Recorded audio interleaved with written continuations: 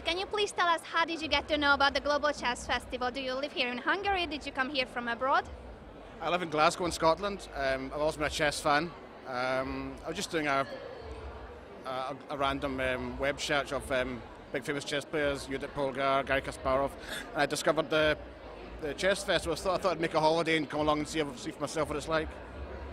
So you traveled here just to be able to participate in the festival? Well, no, I've been to Budapest before, about 12 years ago, and uh, it was a very fascinating city. So I thought I'd try and come again. So I'm actually here for four days. I've been here two days before, just to do some sightseeing, um, come here and do some more sightseeing again before I, I head home on Monday morning.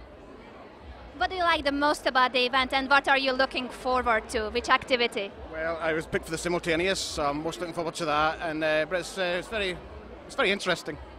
Yes. Have you ever been to a festival like this? Never. No, never. In Scotland, chess is not that popular. We had one uh, chess grandmaster, Paul Motwani, who done a simultaneous for a bone marrow charity, and uh, I've participated in that, but it's not. In, it's never in this scale. Never in this scale. Do you think that events like this can help to, uh, chess to become more popular? Yes. Um, well, certainly, it's, it's very well attended, and obviously it's not just in Hungary; it's worldwide. Uh, so yeah, so more, more people get taught the game, catch on, and hopefully it'll grow in popularity.